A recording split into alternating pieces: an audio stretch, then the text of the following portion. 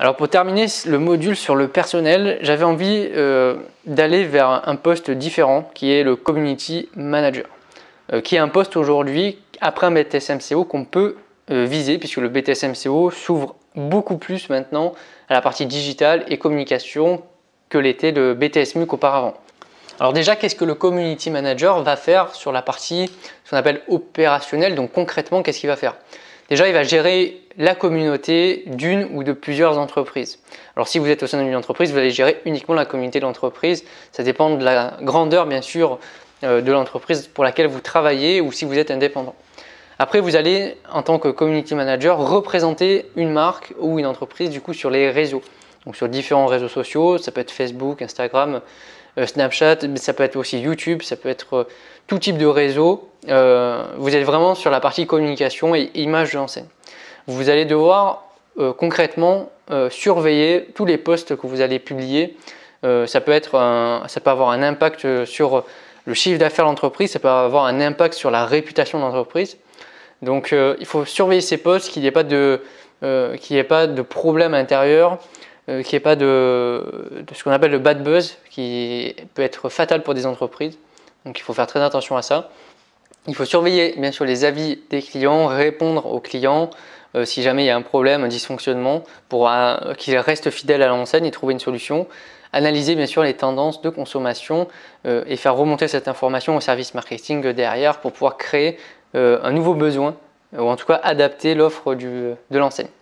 Après, il faut établir un plan de communication concrètement. Si euh, jamais il y a, si jamais en tant que community manager vous êtes seul dans votre équipe, ce qui est le cas dans les petites entreprises, dans les grandes il y a plusieurs personnes, vous allez devoir établir un, plan de communication, euh, de publication de vos posts.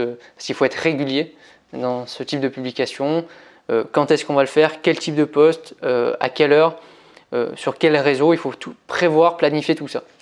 Il va falloir gérer aussi toutes les publicités payantes. Euh, donc vous avez ce qu'on appelle Google Ads pour pouvoir faire des publicités sur euh, Google euh, et sur YouTube également. Donc vous avez plusieurs prestataires de publicité pour pouvoir vous mettre en, mettre en avant justement vos posts et l'entreprise elle-même. le but c'est de gérer ces publicités, les relations avec ces prestataires-là et les optimiser pour avoir un résultat le plus important possible. Et bien sûr, il faut gérer la création de contenu. Alors soit vous avez ces compétences-là et dans ce cas, vous allez créer les vidéos, les photos, les articles, ou sinon vous allez faire appel à des prestataires ou à des influenceurs pour pouvoir mettre en avant euh, votre entreprise et créer ce contenu-là. Après, le community manager, il a aussi une autre dimension, c'est ce, ce, que j'appelle l'aspect stratégique, qu'on pourrait euh, dans les grandes entreprises euh, avoir donc le community manager qui s'occupe de l'aspect opérationnel et ce qu'on appelle le social media manager qui s'occupe de l'aspect stratégique. Dans les petites entreprises, ben, ça regroupe les deux. Donc dans ce cas-là, sur l'aspect stratégique, vous allez établir un plan de communication, comme je l'ai un peu répété déjà ici. Euh, ce plan de communication qui est vraiment la stratégie de communication utilisée par l'enseigne.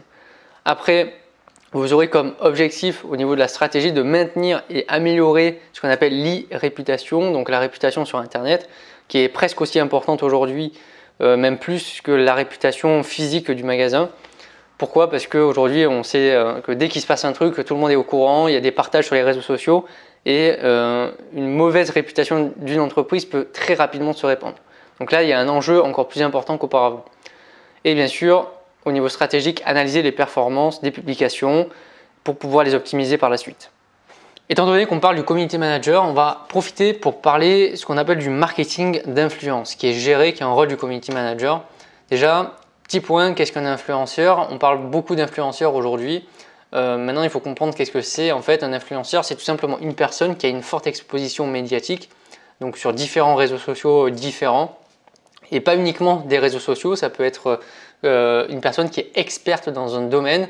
Vous avez des personnes qui ont fait certaines choses, qui ont construit peut-être euh, des entreprises, des énormes domaines, qui ont euh, été experts dans un domaine, qui ont fait des choses incroyables et qui sont catégorisés dans la partie expertise. Et donc ça veut dire que demain, une entreprise veut faire passer un message euh, ou mettre en avant son produit, elle va faire appel à cet expert-là parce qu'elle sait qu'il a une communauté derrière qui va le suivre et qui, approuve tout ce qu'il fait. Donc il est ce qu'on appelle respecté pour ses actions ou sa personnalité. C'est le cas des fois de certains politiques qui ont une certaine personnalité et qu'on pourrait presque catégoriser d'influenceurs derrière.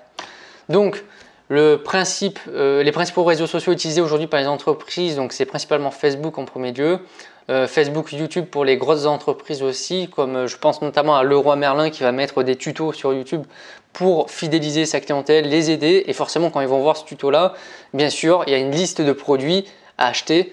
Et cette produit à acheter, elle est liée bien sûr au site internet de Leroy Merlin par exemple, pour ne citer que ce type d'enseigne. Euh, ça, ça c'est beaucoup dans, le bricolage également. Euh, par exemple, sur la grande distribution alimentaire, Carrefour a aussi une grosse chaîne YouTube où il va, publier, il va mettre en avant ses différents produits, ses valeurs ou ses promotions. Euh, il va partager une petite vidéo qui, qui, va servir ensuite de publicité sur Facebook.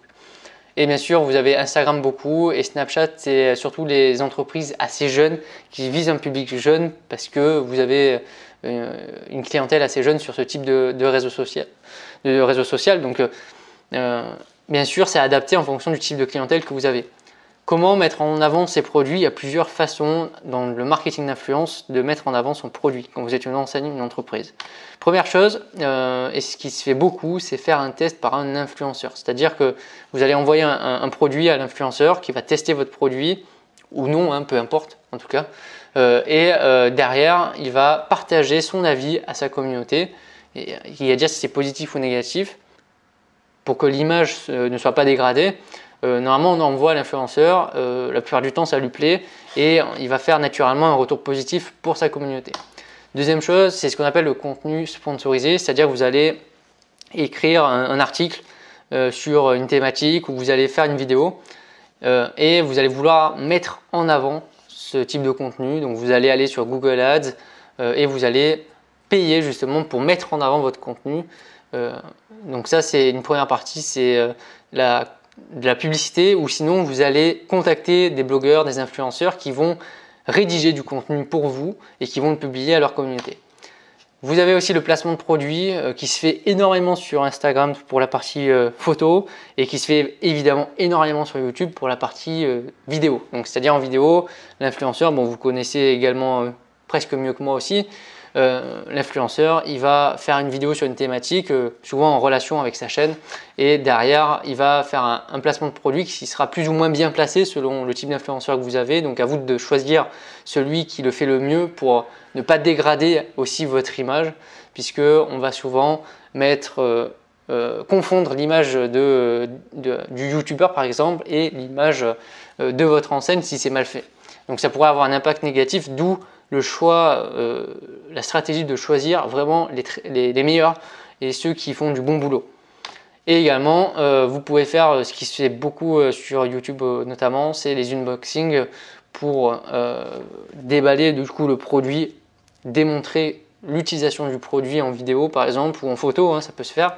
Le but c'est de se dire bah, le client il, veut acheter ce produit, il sait pas trop comment ça fonctionne, il va voir cette vidéo là et ça va le rassurer dans son achat et forcément derrière il va aller acheter votre produit parce qu'il saura comment le faire fonctionner.